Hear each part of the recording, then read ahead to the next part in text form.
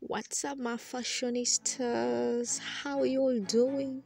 I'm back, and this time around, as you see this short dress, I just want to share how I add length to such short dresses for you know comfort, elegancy, decency, and all those other reasons, you know, styling. So, I have some dresses. Don't forget to subscribe if you're new and please share this video with anybody you know and let us start with this beautiful dress. So guys as you see it is a nice very tight dress but it is short and i want to add some length at least up to there there around the knees so i love its silhouette. I love the way this fabric is kind of shining in that gold and black you know colors and you know shade. So um this is how it looks from the back. It has the zipper. That's the good thing. Though it is small kind of of a small size but it has a zipper and it is stretching. So it can fit anybody and its stretch is a strong one this fabric is really really strong. It is so nice. So i have this um kitenge ankara you know fabric that i want to use because of its this kind of gold that is in the dress. It's kind of matching so i'm considering that. And this is a plain dress and the other has some you know colors and patterns. I think it will go with it so well. So as you see it is kind of it's really strong not even kind of it's really strong. Um, and I have to determine what I have to cut on the kitenge fabric on the ankara. So now I have to stretch out around the hips that hip measurement while stretching out the dress and know how far it goes around the waist and after I just seam rip this hemline and have to get some you know joining allowance. And after I just you know consider about um, less than two inches of the hip measurement of that stretching dress. And that is what I'll be considering to cut to cut the part that I'm going to join onto this dress and in this case I'm just going to cut out um, a circular part kind of a circular skirt and that is what I'll be joining onto that hemline. So it is what I'm going to do now. So remember you measure the length the length is not too too, too much. I, I want around uh, 10 inches seam allowances included. And the width will be about 36 inches because i'm considering that this dress fits somebody of hips of about 40 inches or 38 inches. So now I folded my fabric into four parts you know just the way we fold when we are cutting a, a circle skirt. So when getting a circle skirt you just divide your circumference by 6.28 and this is what I did and whatever I got I measured it just around there to get that arc as you see there of about 5 inches from this pointed corner. So now after that arc and that arc is now is the circumference of the hemline that we are working with. So from that arc i'm going to measure uh, about 9 10 inches of the length that i'm working with. So that is what i'm going to be taking here as you see. So it's just you know circle skirt. Just the way we, we cut a circle skirt. And in this case it is a full circle it is a full circle it's going to come out very full. But if you want a um like a half circle you just divide by 3.14 not 6.28 and those are just constants. So now after here i have to add some joinings allowance at this piece, circular piece that i have to add onto the dress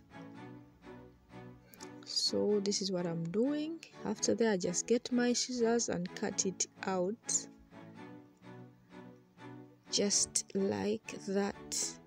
And that is the piece that I'm going to join onto the dress. It is circular. You can do full circle even half circle according to your preference. So this is how it looks like it is joined fully because it is full circle. So this is how I'm going to join it onto this this dress. Right sides facing each other. I'll just take it and join it all around the dress. So i have to stretch it out so that it fits the circular piece that i've cut. And after you know hemming this piece this is how the dress looks like on my model dress so that is it. So decent and elegant. So now moving on i also have this black dress. It's also kind of shining but it's black shining silver kind of. And this method i'll be you know uh, as you see it is also kind of really really short up above the knees and i want to go up to the knees uh, it it is more stretchy than the first one and i'll be considering of some hips of somebody of you know hips of 40 inches and then you know kind because it's a little bit tapered around the hem i'll be considering a circumference of about 38 36 inches so this dress is kind of you know of a medium size not too small and it really stretches as you see. So now again getting my seam ripper and you know i take out that hem hemline you know to get some joining allowance. Uh, um in this in this case i'll be considering the gathering part. So i will just get again uh, the length of the the the piece that i want to add it's about six inches because this dress is not too short like the first one. So this is the piece. Still it is you know african fabric the kitenge fabric. And i've cut it into two. So in this in this method i'm just going to use the gathers. So i'll just get a piece of fabric and I gather it around. One is so I have two, one is for the back and the other is for the front. As you see, I'll be gathering it till the desired, you know, circumference. I'll gather the other one and even this one and then join them together and I'll, you know, join it onto the dress. So that is what I did, you know just simply gathering and then you add it onto the dress. And now I get such a beautiful dress very elegant very decent and stylish. So again moving on. So in this case I have this this you know dress. It's kind of a party dress. It has this peplum it has no sleeves and it has this kind of an applique. And in this case i want to add something that is you know uh, kind of continuing the silhouette of this dress. It has that peplum so still i want kind i want to add a piece that is kind of in a circular form. And because of that black applique i will consider the fabric that i join I'll consider um, a color black. If you want, you can consider blue, but in this case, I'll consider color black. So this is how it looks like. Remember, this is kind of circular. So I want to add a piece that is kind of similar or related to that. So I want to take the length of this peplum to consider it as I get the length of the piece that I'm going to add onto the dress. So again, as the way we did for the first dress, it's just a circular piece. So I folded twice and then uh, into four parts, you know, I folded it twice.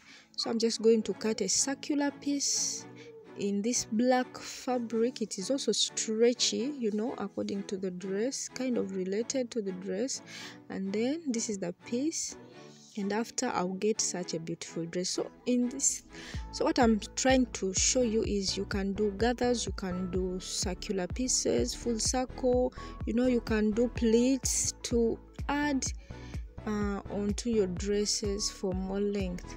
So again i have this dress and this one is straight. It has that opening but you can cover it up if you want. If you don't you can leave. And this one is really really i love its silhouette you know?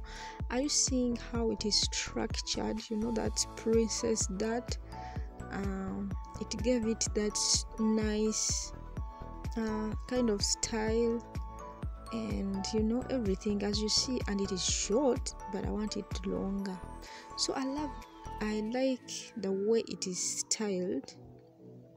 It is kind of cut into pieces and they are mixed together to form this beautiful, you know, garment. And I have this piece. It's it's blue, light blue in color, and this dress has these flowers that are also kind of light blue. So this piece uh, will be matching with the dress.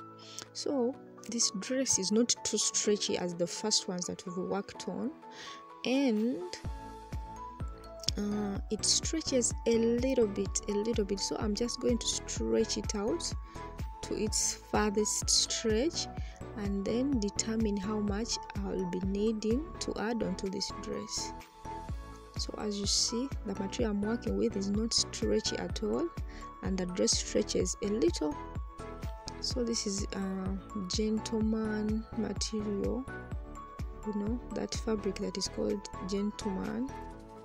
That is how it looks like. But because light blue this dress has some light blue and those structures and the way i'm structuring it i just add it onto the dress and i get such a beautiful dress guys. So because it's not stretchy i ended up adding that small slit as you see of about four inches so that somebody can be able to move around.